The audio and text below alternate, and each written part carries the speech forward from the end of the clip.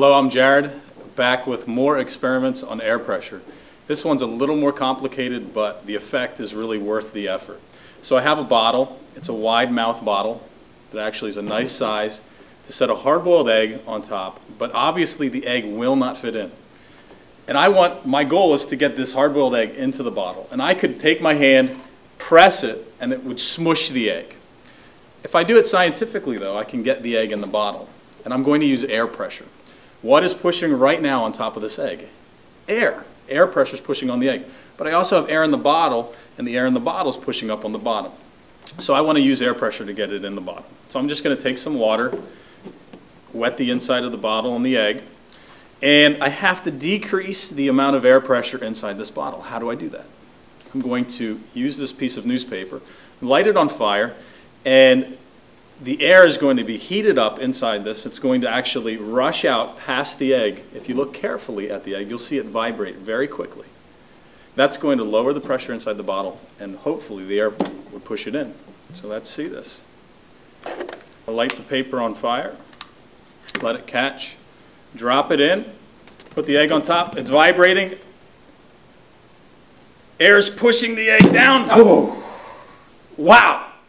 All the air, you can see the air just rushing past the egg. The egg vibrates as the air is rushing past it. We're going to let the smoke clear a little bit. You could see the air pushing that egg down in the bottle.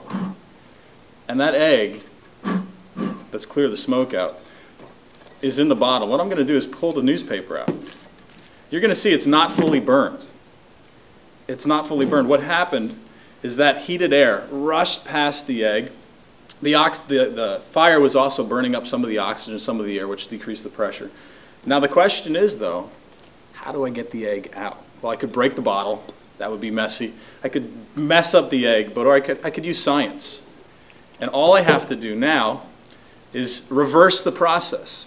I have to increase the pressure inside this bottle so that the pressure inside pushes it out, almost like a chicken laying an egg. How do I do that? I'm going to put my lips on this bottle. I'm going to blow as hard as I can past the egg. The air is going to get trapped behind the egg. It's almost like a little valve in there. And hopefully the pressure behind the egg will push the egg out. Now, if I put a little bit of pressure in, the egg will ooze out. If I put a lot, it'll shoot out into my mouth. Let's see what happens. Here we go. It's coming out slowly. Let's try that again. So how do I get this out scientifically? I have to push air behind the egg to increase the pressure. Here we go.